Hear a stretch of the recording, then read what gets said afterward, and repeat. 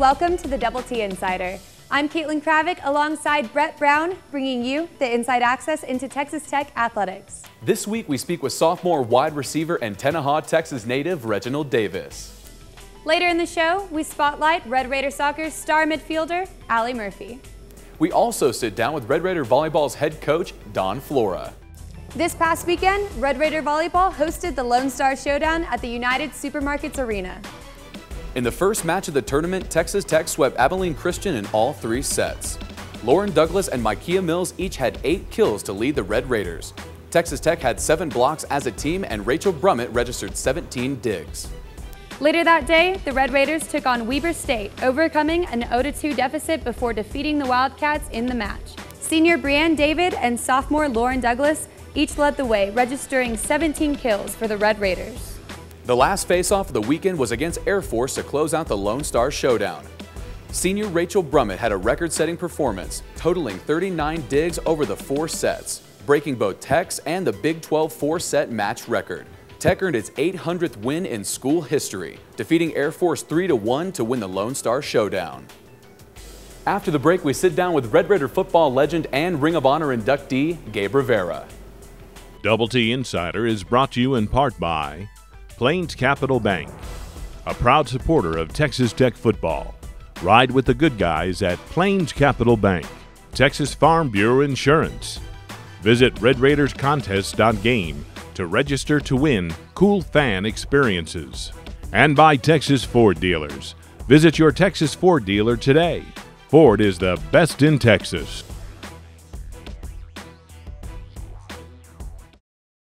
Welcome back to the Double T Insider. I'm Alexandra Haley. This week, Caitlin Kravick sat down with Red Raider legend Gabe Rivera. Well, Mr. Rivera, thank you so much for joining us today.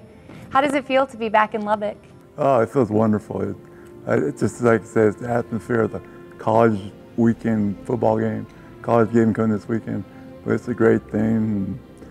Uh, it's very exciting. You can feel the excitement in the air because just waiting for that game to start. So how has that game day atmosphere changed since you were last playing at Tech?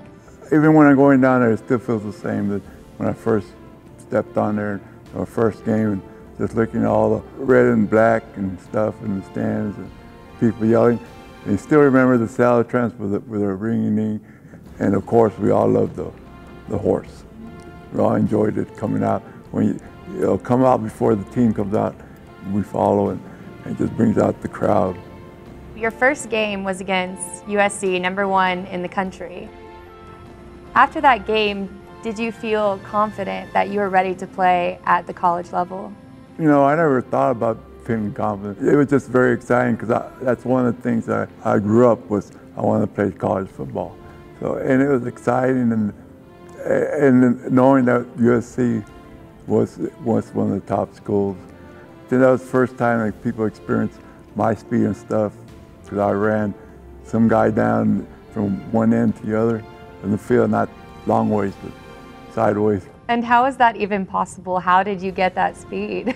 I don't know I got speed. The, the thing is, my older brothers always were chasing me, or they were always picking on me, and, and I had to I had to learn how to outrun them. So, what does it mean to you to be in the Ring of Honor? I didn't think I was Oh, I was a legend stuff, but after a while, I, kind of, I know people will come up to me and say, oh, I remember you. I think that was the most exciting thing with this Ring of Honor, that people will recognize me even after or forever or whatever. Just people came up to me and reminded me that they enjoyed the way I played. Like I said, I never thought of being a legend or anything. It's just something that came up and just I'm just trying to enjoy it. Everyone says about you that you're this extremely humble person, just this humble nature. Where do you get that from? Is it your family? I think it's my family, but I think more of my mother.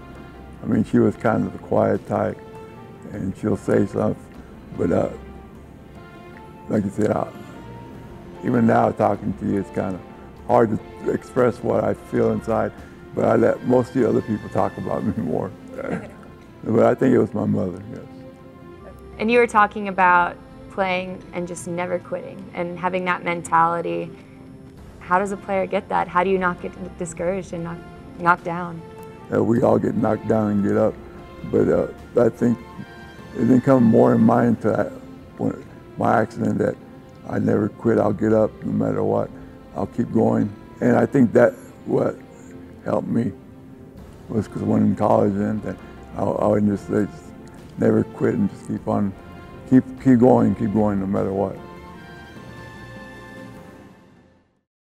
Coming up next, we sit down with Red Raider football's star sophomore receiver, Reginald Davis. Those six. Second and seven from the 15. Fly sweep left side this time goes to Davis. He gets around the corner with a blocker in front of him. He is in. Touchdown, Red Raiders. Reginald Davis, redshirt sophomore, and I play wide receiver. Two second down 12. Throw. Davis on the slant, has the catch inside the 30, 25, going to the far sideline. Fielded by Reginald Davis. And Davis has room. If he gets this block, he could. And Reginald Davis takes it all the way. After I started scoring, and then after the Baylor game, I scored. And after that game, they started me for Texas. So, I mean, I guess they seen that I could compete and help out the team. So they gave me a chance, and I took the chance and ran with it. I just feel like my teammates know that I can compete, and I give my best for them. And they lean on me for support, and I mean, I got their back, and they got my back. I mean, they look up to me a lot. They want me to step up and be a leader and be someone on the field that they, they can trust to score and catch the ball. So, I mean, it's transition a lot. Uh, speed, a lot of stuff, footwork, everything that could make me better, that's what I worked on. I'm ready to play. That's the most excitement ever. No matter what you're going you're gonna expect someone that's gonna compete and try to score every time you got the ball. Oh, it's a great community today it's, it's, a town that loves sports, so I mean, I love that. So it's a, it's a great community. It's like back home. They love me, and they love me out here, so it's a great atmosphere. I just want the fans to know that I'm gonna give my all and give my best for you, and I'm gonna try to bring a championship to Texas Tech. Stay tuned. Coming up after the break, we spotlight Red Raider Soccer's Alli Murphy. In this week's Red Raiders Spotlight, we sat down with junior midfielder Alli Murphy. Hi, my name is Alli Murphy. I'm a junior here at Tech. I play midfield and I'm originally from Plano, Texas. I definitely wanted to improve on my speed of play and holding the ball during the off season and kind of my heading and I knew I was going to be in that defensive uh, midfielder role. So I know I needed to get stronger. I was really in the weight room a lot trying to get stronger so I can muscle people off the ball more.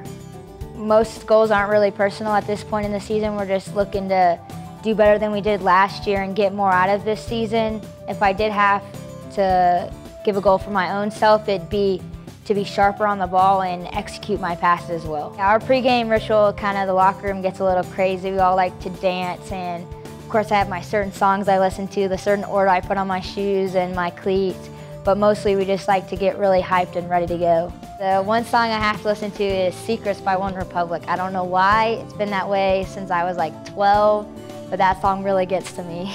I would say the team chemistry overall is great, and that's probably what's made us as successful as we have been this season. We just, we just love each other and we want to play for each other and we all have the same goals. Going in the season, we make sure that we're all set on the same goals and kind of make a list together.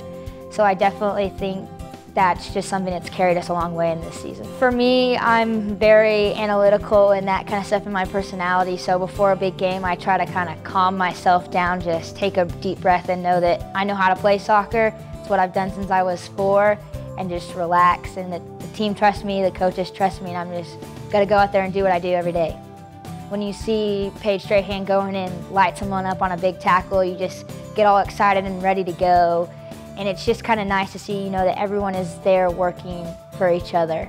Running out of the locker room is just the best feeling you can have, and you don't always get that on a road game, but we have such dedicated fans from our parents and that kind of stuff. It really, they really try to make it feel like we're still at home. My favorite tech tradition, I guess it's kind of one we made up on our own. We always get in the huddle and ask, what team is this? And we yell Texas Tech and we do that a few times. And I just really get you going for the game, and that's kind of one of our own team traditions. To be on a team with so much success is a great feeling, but it's more, we try not to look at that. We look at the opponent ahead of us, what we're going to do the next day and the day after that. But of course, it's a lot easier feeling going out to practice when you know that y'all have been doing good and successful and you have the community behind you. It's awesome. So far, I think we've done well. I hope we just keep improving. I hope we get another run at the NCAA tournament. But I think right now, what we're expecting as a team is that we get better every game and we learn from our mistakes. Stay tuned. After the break, we go on the clock with Jaye Crockett. Welcome back to the show. Set your timers. The Double T Insider is about to go on the clock with Jaye Crockett. Double T Insider here in Clovis, New Mexico with former Red Raider basketball star Jaye Crockett. We're going to play On the Clock, a game where I give Jaye 10 scenarios that he has to answer in under 60 seconds. All right, Jaye, do you think you can handle this? I think I can handle that. I think I can handle All right, 60 seconds on the clock, please. If I could travel anywhere in the world, I would first travel to. Brazil, If I didn't play basketball, the next sport I would play would be. baseball, If I had a superpower, it would be to. Fly. I hate driving. Besides playing basketball, my favorite thing to do is. Sleep. I just said that earlier. If I could have dinner with any person, living or dead, it would be. Beyonce, without Jay Z there. my favorite home cooked meal is. Um, steak, like steak, macaroni and cheese. The song I have on repeat right now is. Can I finish that last question? Green beans. Okay, the song I ha- the song I have right now on replay. Uh, I don't really. I, I couldn't tell you. I don't know. Gotta skip that one. Yeah, my favorite Texas Tech tradition is. I mean, the guns up. I guess that's. I can't even think of nothing right now. No, Raider Power, of course. Okay. I love Raider Power. Oh no, you didn't beat the I didn't beat it. no. I'm not as good as I thought. Oh no. Well, for the Double T Insider, I'm Caitlin Kravick, and we just went on the clock with Jaye Crockett. Yes, ma'am. Better luck next time. It's all right. Gotta practice. Get in the gym. This week, Alexandra Haley sits down with Red Raider Volleyball's head coach, Don Flora. Thanks for being here today, Coach. How are you doing? I'm doing great. Uh, it's awesome to be here. Okay, good. So um, I'd like to talk about the off season first. You guys had a couple seasons to train, hopefully come back stronger and faster. What all did you focus on, and what can we expect to see this season? Well, one of the good things, we sort of talk about season starting in January. So when our athletes got back last January, spring, our spring phase is really important to our uh, strength development, quickness, development of the team and the chemistry. We had a lot of returners coming back, and we really felt the spring was uh, an awesome time for us. We had a lot of quality wins, and we, we trained at a high level. And then during the summer, uh, during summer two, we have all of our incoming freshmen come in, and uh, then you sort of start to see the feel of the program coming together. And we have a really nice freshman class. Uh, they, they've added a lot uh, emotionally, uh, physically. They're they're quite good, and so it's it's good when you start to see the team develop and, and come together that way. And so, because you have quite a few returners coming back and everything, who are some seniors that you expect in your head to kind of step up, be a mentor, take on some leadership roles? One of the things we did uh, also during summer two, we named two captains. And uh, so Jenna Allen, who is a junior now, and then Micaiah Mills, who is a senior now, uh, both have been named captains. And, and they, they've earned those roles. They, they go about those roles in a leadership way, a, a relational way, uh, and an, an affecting change, affecting how we go about our work. That sounds great. So, um, coming back, getting ready for your season, how do you think the results of last season have motivated the team as a whole to get back out there? Well, I think, you know, when we got done with last year, one of the big things is we tried to put it behind us. 2013 is behind us, and we wanted to look at 2014 as a new year, you know, and that was the really important piece to the puzzle for us of, of putting closure on a season and, and learning from it. You want to look at it and, and analyze it. Like we looked at our numbers and we looked at some areas that we wanted to train and grow as a staff, and we've worked diligently at those things. So 2014, uh, I I think, has a motivation because the pieces of the puzzle have started to come together. And that's the cool part when you can see some people step up in their roles and you can see physically that they have gotten better, jump in, strength, all those things. And then technically, What's your kind of coaching philosophy? Where do you pull from, and what kind of drives you to see your girls thrive? When I got in the game, I was the youngest head men's coach in the country. Uh, I was mentored by my first uh, women's assistant job by a, a Hall of Fame coach and Jimmy Pascal, and people that went about it the right way. Uh, you know, W's come if you do the right things outside the gym and inside the gym. And so I think learning how to uh, really look at the whole person, Uh, we want our athletes to be great students and great family members and great friends and great people in the classroom. It, those are the champions that they blossom up when they take care of all the pieces of the puzzle. And so a lot of my mentors uh, on the men's side and the women's side of the volleyball game uh, really helped me understand to see the whole person and, and see that uh, when they're doing the right things in the big picture, it really comes out on the court. And we know we can teach and train on the court, and so if we are healthy uh, in the other parts of, the, of, our lives, I think it really shows uh, through in the way we play the game. Stay tuned. Coming up after the break, we're bringing you our tweets of the week and the upcoming games in Texas Tech Athletics. Welcome back to the Double T Insider. I'm Luke Heath, and each week we pick the top five tweets about Texas Tech Athletics and air them right here on the show. This week we're featuring tweets about Red Raider soccer and Texas Tech volleyball. Our first tweet comes from Jade DePaw who said, It's game day. Love being surrounded by my best friends every day. And Kevin Oliver said, so proud of Coach Flora and his volleyball team. Rally back from two sets down and down 5-0 in the fifth set. Never quit and great win. And our third tweet comes from Brianna Romer who said, it's game day, which allows us to continue our journey to be the very best. Love these ladies. Hashtag WreckEm. Our fourth tweet comes from Matt Dowdy who said, this is the fifth shutout of the season for Texas Tech and Lauren Watson who recorded a career-high eight saves against Memphis. Hashtag WreckEm. And our fifth and final tweet comes from Zach Mosley, who said, both Red Raider volleyball and soccer are undefeated at 12-0 and 9-0, entering Big 12 play. Keep it up, ladies. Hashtag WreckEm and hashtag Guns Up. That's all the tweets for this week's episode, but be sure to follow the Double T Insider on Twitter and check back with us next week when your tweet could just be featured on the show. Coming up next, we take a look at Texas Tech's upcoming games. Thursday, Texas Tech football will be in Stillwater, Oklahoma for a matchup with Oklahoma State. This will mark the start of Big 12 play for both teams. This also marks the first and only time the Red Raiders will play on a Thursday this year. Kickoff is set for 6.30 p.m. Central. Texas Tech soccer also begins Big 12 play Friday. The Red Raiders will be in Austin as they face Texas starting at 7 p.m. Central. Saturday, Lady Raider Volleyball concludes their eight-game homestand as they battle West Virginia from the United Supermarkets Arena in Lubbock, Texas. Texas Tech Soccer returns home to the John Walker Soccer Complex in Lubbock, Texas Sunday.